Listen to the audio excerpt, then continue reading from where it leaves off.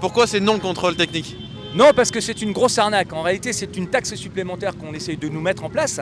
Parce que le contrôle technique pour être remotorisé, ça sert absolument à rien. On l'a expliqué tout à l'heure lors de la manifestation. En 1990, quand on a mis en place le contrôle technique pour les voitures, il y avait 17% d'accidents dus au mauvais état des voitures. Il fallait s'en occuper. Pour les deux motorisés, c'est pas du tout le cas, c'est 0,3%. C'est statistique de la mutuelle des motards, donc ils savent de quoi ils parlent, ils sont spécialisés dans le deux motorisé, dans l'assurance.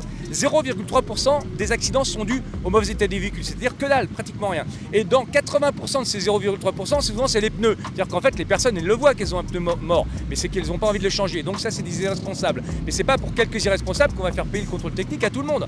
En plus, le problématique, c'est que sur un roues motorisé, tout est visible à l'œil nu. Ça fait partie de la formation du motard en plus. C'est-à-dire quand on fait une formation, on passe un permis moto, eh bien on nous explique comment faire attention à nos organes de sécurité.